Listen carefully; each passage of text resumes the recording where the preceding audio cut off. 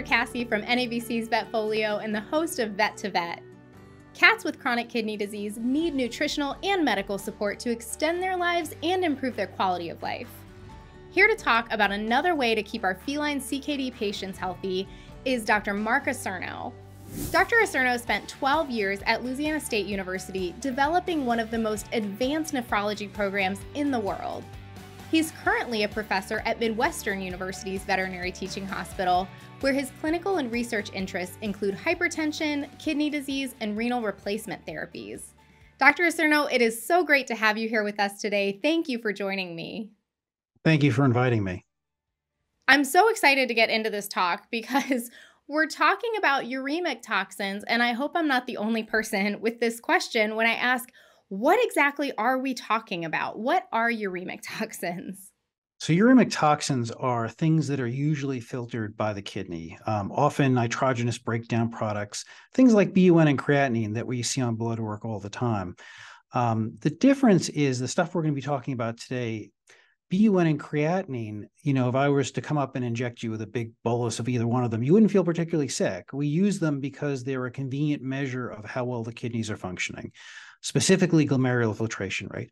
Um, the things, the toxins we're going to be talking about today are um, toxins that are derived from the gut that um, come into circulation and actually damage the kidneys. And they're not things that we ordinarily measure, but we know now through studies um, that they actually uh, accelerate uh, chronic kidney disease by causing inflammation, causing damage to the kidneys.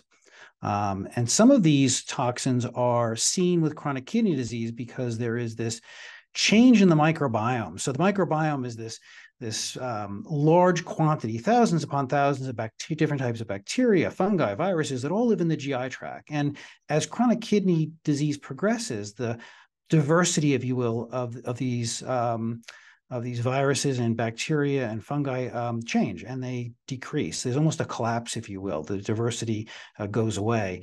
And what we're left with is these um, microbiome that can produce these uremic toxins that get absorbed in the colon and then can damage the kidneys. So, just to make sure that I'm understanding, we see this lack of diversity in the microbiome in our in our kidney patients. Is it the result of kidney disease? No one knows exactly why or how it happens, but as kidney disease progresses, the diversity of this microbiome decreases. And so we see fewer, if you will, the richness of the number of, of bacteria decreases. And then we have an increase in bacteria that can actually produce substances that can harm the kidneys. Okay. And you said normally uh, with a healthy kidney, these would be cleared by the kidney? That's right. So normally okay. with a healthy kidney, first they'd be cleared, but second of all, the microbiome of the GI tract would be so diverse that the amount of this stuff being produced wouldn't be significant. I see. So we have we lose the diversity of the microbiome in the gut, which causes an uptick of the production of these toxins that can no longer be cleared effectively by the kidneys and, and they end up increasing inflammation and causing damage to the kidneys. Correct. Yeah, these toxins actually damage the kidney directly. Okay, okay. Wow, that is just not something that I think about on a day to day basis. And I really like managing kidney patients. Um, so I'm, I'm really glad that we're diving into this topic. Yeah, it's really something that none of us thought about until recently, right? And it's it's interesting because the microbiome of the gut has been associated now with so many different diseases. It's not surprising that we're finding this link between chronic kidney disease and the microbiome. I agree. It's a little it's a little crazy how much of an influence we're finding this microbiome has over so many different healthy situations and disease processes. Correct. Yeah, I really. I mean, you know, people now they've associated with all kinds of things like um, neurologic disease and and uh, loss of cognitive ability. Right. So, who would have thought that ten years ago? People would have thought that you were kind of crazy um, for thinking that somehow bacteria in the gut is linked to your you know brain function, and now we're finding it's all interrelated. Absolutely, it's fascinating. Well, I'm guessing because there is a that loss of diversity in the microbiome causing this uptick in the production of these uremic toxins, probably supporting that microbiome can help to reduce the overall production and amount of these uremic toxins. My first question, I guess, would be Is that correct to guess that? And two, what else can we do to help reduce the production of these uremic toxins? Yeah, so people are attacking this problem from a number of different perspectives. And certainly one of them is supporting the microbiome. It impacts people as well. So people have looked at this in animal models. Um, can we, for example, uh, one of the things that we know that happens in in people and in cats and in in other species as the kidneys fail.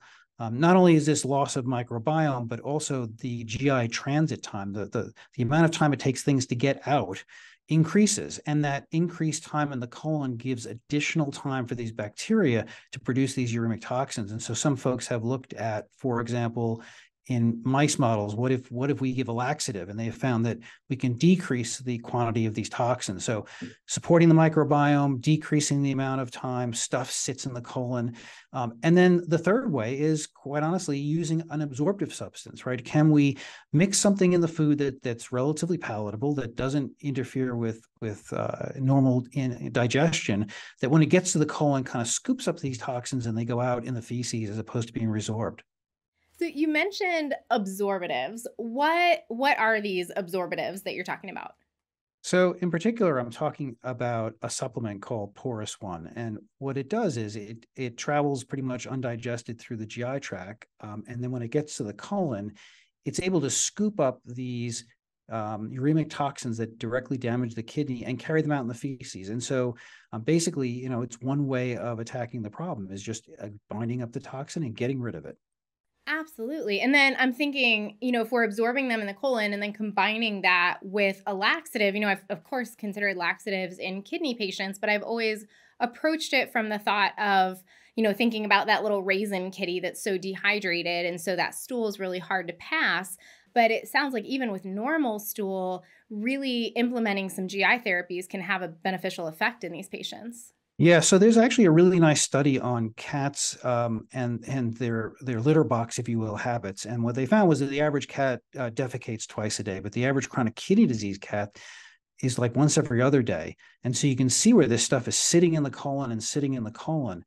Um, and so increasing uh, defecation by using things like laxatives, at least in other animal models, has been significant resulted in significant decreases in these uremic toxins and certainly adding an absorptive could only further decrease the amount of these uremic toxins that are being absorbed and damaging the kidney um, that, that, can, that they can do their bad work really. So um, really I, think the answer is going to be a multimodal af- approach of supporting the microbiome making sure our cats are defecating uh, regularly and using an absorptive to get rid of these uremic toxins Absolutely. I'm so glad that we're having this conversation because that that's news to me about the the defecating every other day. And again, I would have gone back to it from a hydration standpoint, but it, you know, obviously this can have much more detrimental effects than just, you know, a dehydrated animal that's maybe uncomfortable because they're not passing as much stool.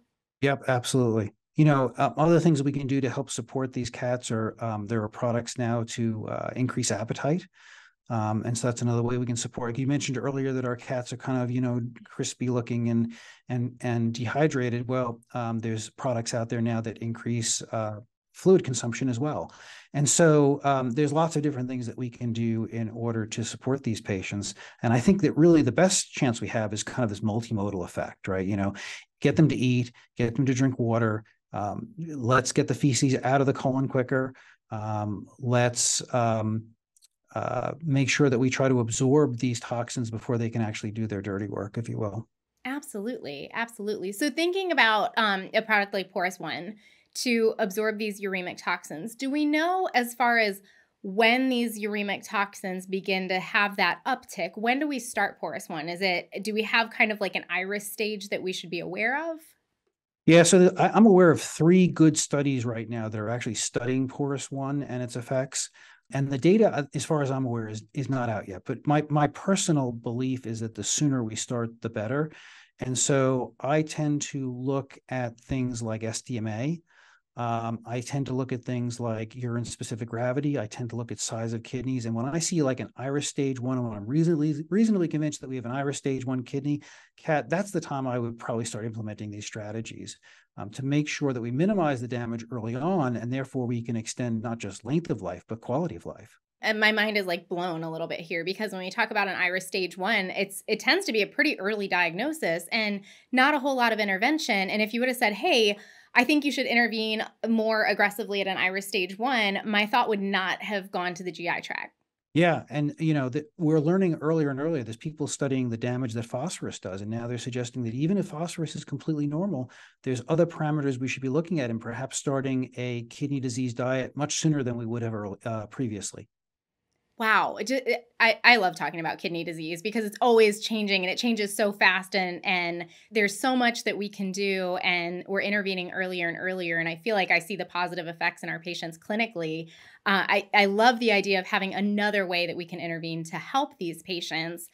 Of course, you know eh, when we're talking about chronic kidney disease patients, a lot of times we'll see comorbidities and things like that. So, would we have any reason not to start porus one or, or any of these other absorptive therapies?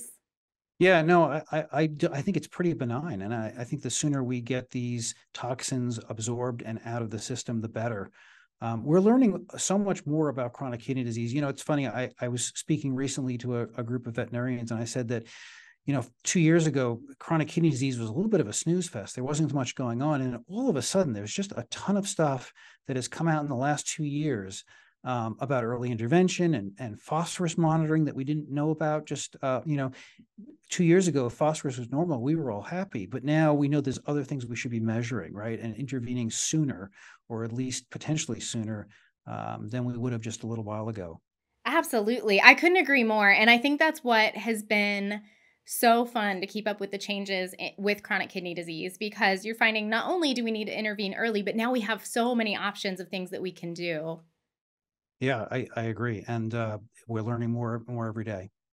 Absolutely.